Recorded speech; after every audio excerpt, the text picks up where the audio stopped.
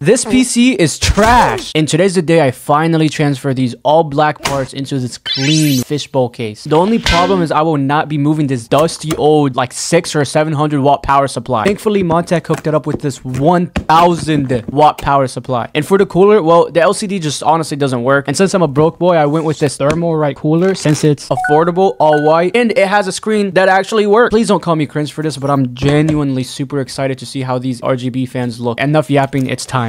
Now that we have everything to the side, it's time to move them all into their new home, and you won't believe what happened. As I was installing all the parts, I somehow got attacked by my RAM sticks and got blood all over the fans. No! The size of this case just made building it so much easier for me. Oh, and I also added these white extension cables from Vetro. Here we go. Oh my god!